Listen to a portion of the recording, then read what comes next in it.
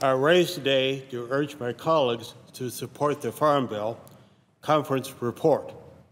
It's taken a long time to get to this point, with several unnecessary roadblocks along the way. But we're finally near the finish line, and it's time that we conclude this process. I commend Chairwoman Stabenow, Ranking Member Cochran, Chairman Lucas, and Ranking Member Peterson for their leadership in developing this reasonable conference report.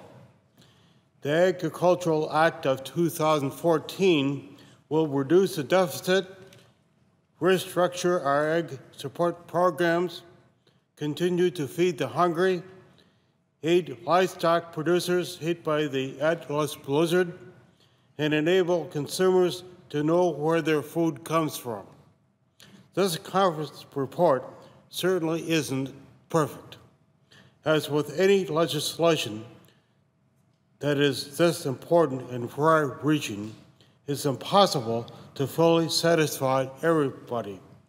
But this is a reasonable compromise. Our ranchers will benefit significantly from this bill. Not only does this co compromise enable country of origin labeling to continue as well as maintain USDA's ability to ensure a fair and transparent marketplace, but it also contains critical livestock disaster assistance programs to help ranchers in my state who are still recovering from the 2012 drought and last year's terrible blizzard. My ranchers lost tens of thousands of livestock and they've been left hanging because of congressional inaction. With passage, they finally be able to cut the aid they need. Beyond these, the important assistance for livestock producers, this bill also reforms our farm programs by eliminating direct payments and by strengthening the crop insurance program. It also offers key support for young and beginning farmers and ranchers, and it contains reasonable conservation compliance requirements for a farm program and crop insurance eligibility. This legislation represents more than just assistance to our farmers and ranchers. It's also a jobs bill. It contains mandatory funding for several energy and rural development programs, and it will help USDA deal with a huge backlog of painting rural water and wastewater infrastructure applications. Hundreds of rural communities across the country, including Aberdeen, Watertown, and Brookings in South Dakota, will also continue to be eligible for rural housing programs as a result of a provision I included in the Senate passed Farm Bill that is maintained in this conference report.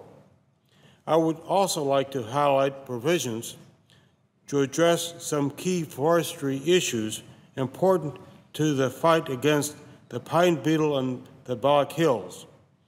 The, this bill provides the Forest Service and private forest landowners with critically needed tools and flexibility.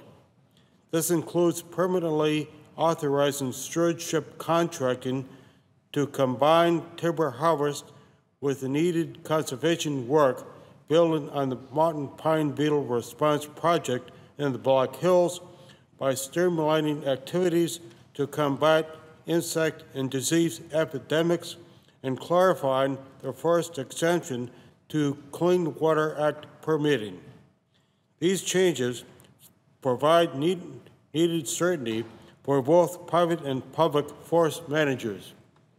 While I'm overall very pleased with this conference report, there are some disappointments. The senior senator from Iowa and I have worked for years for meaningful payment limitations. In fact, we were able to include in the Senate bill a hard cap on payments as well as new language to define farm program eligibility requirements. The House bill contained nearly identical language. However, this conference report actually loosens payment caps and it punts the decision of defining actively engaged to the Secretary of Agriculture. This is frustrating.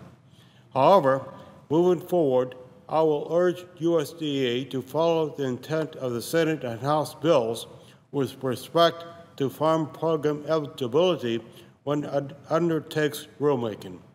Even though I'm not fully pleased with everything in this conference report, I think it does represent a compromise. As such, I urge my colleagues to join me in passing the bill. If we don't, food prices will rise, ranchers in my state will be forced out of business, and we won't get the deficit reduction or reforms to our farm programs. Mr. President, I yield the floor.